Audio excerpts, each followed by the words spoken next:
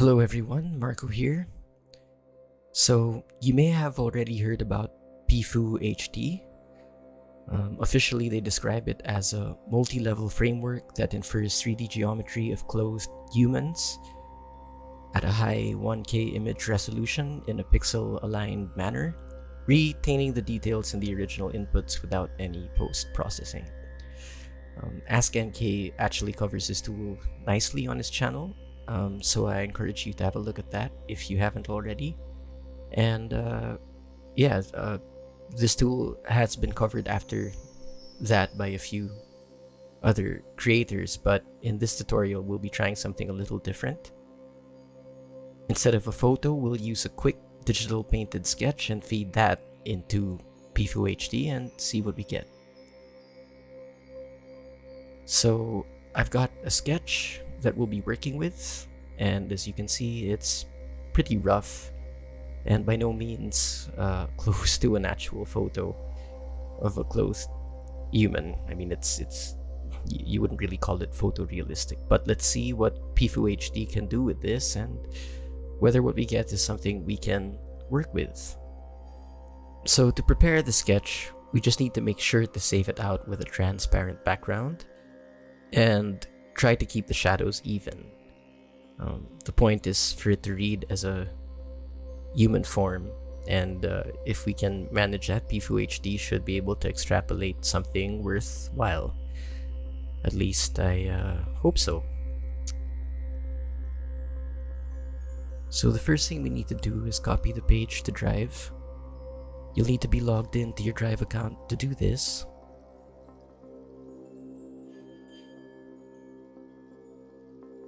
And when that's done, we'll connect to hosted runtime here on the upper right of the page. Okay, so I had to retry several times but finally made it in.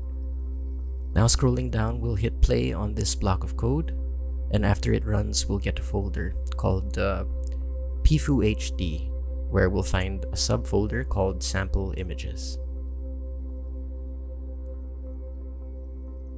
And this uh, is where we want to drop our sketch.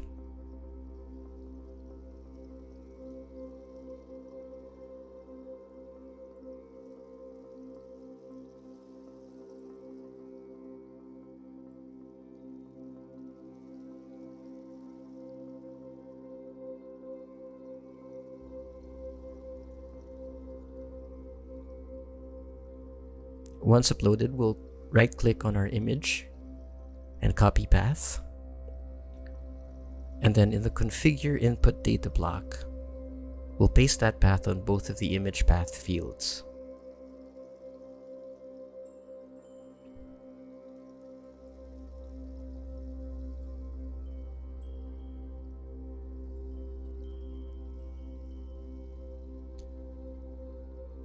You might also want to get rid of this line of text here.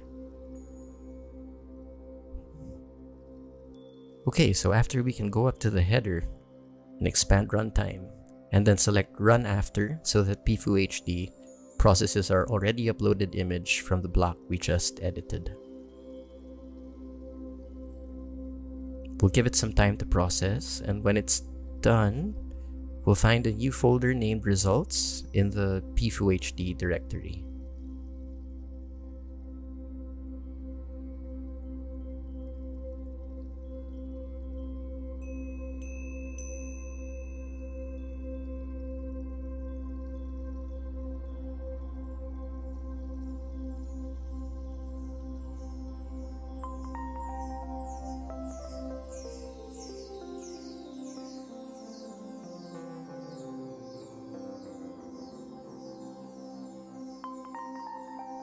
Okay, so here's our resulting OBJ file.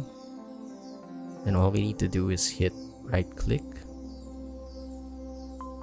or just drop down here and download and save the drive.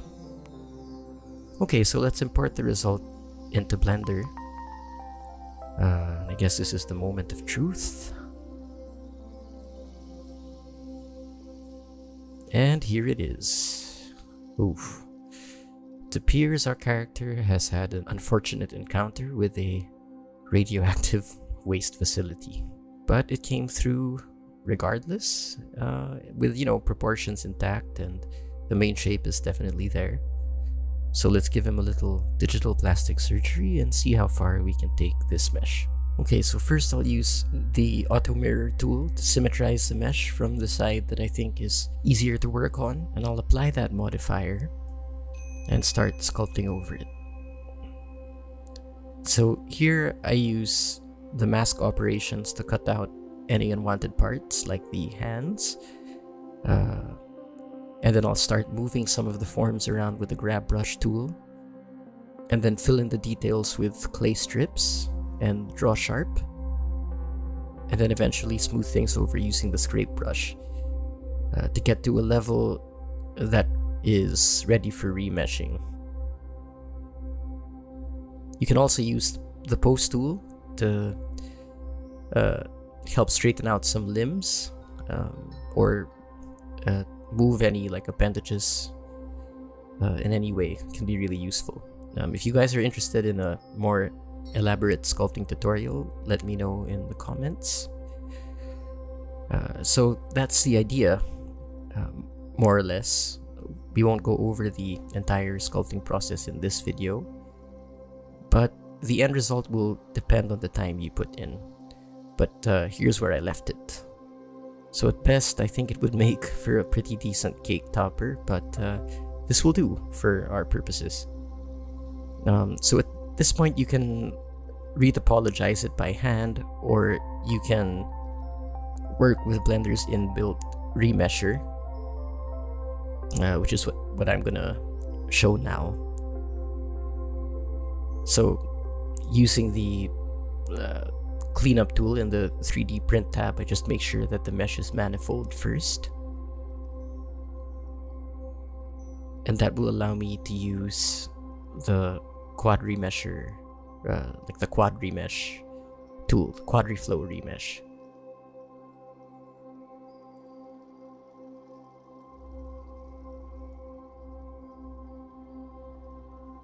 Okay, so now this mesh should be manifold.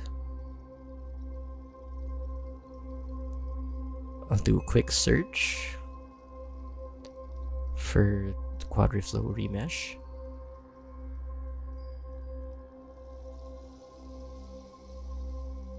And apply. Here's our result. So, as you can tell, uh, there's some dirty geometry that I'll just go over and fix by hand. Again, I, I, I won't really go over it in this tutorial. Uh, but um, this is the main idea basically. You just need to reapply auto mirror and clean up some of those uh, loose verts. Uh, and keep in mind that we're going to be um, refining the sculpt a little bit as soon as we uh, as soon as we have a, a mesh that we can um, we can work with.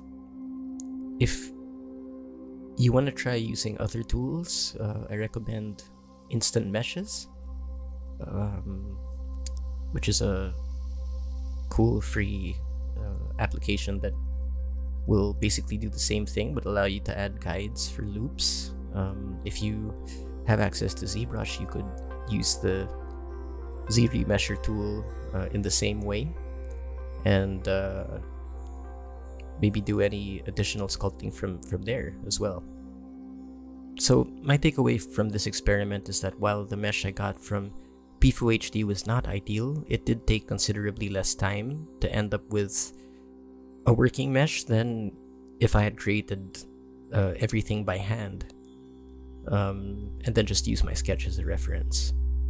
Um, well, that was my opinion at least, um, and I think that uh, it's worth a try. Overall, I think PIFu HD is a cool way to combine the speed of uh, concepting characters in 2D and, and then working them over in 3D. It makes the whole 2D to 3D process much more, uh, much less tedious and much more iterable, in my opinion. Uh, so, that's it. In my next tutorial, I'll be piping a remeshed version of this sculpt to Mixamo and creating a short animated sequence. And here's a peek at the textured mesh. So thanks for watching and I'll see you in the next one.